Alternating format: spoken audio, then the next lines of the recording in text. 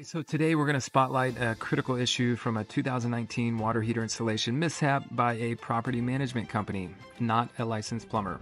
So this wasn't just any water heater, it was an A.O. Smith model chosen from Lowe's for a rental home. The tenants, with no say in the installation process, faced an unseen hazard from day one. The problem? The improper installation led to exhaust gases leaking into their living space, all because their draft diverter wasn't installed correctly and the vent was sloping in the wrong direction. So, this scenario isn't just about the inconvenience of a poorly installed water heater, it's a serious safety risk, highlighting the absolute necessity of a professional, licensed plumber for such critical work. Let this serve as a cautionary tale about the importance of choosing the right experts for the safety of homes and their families.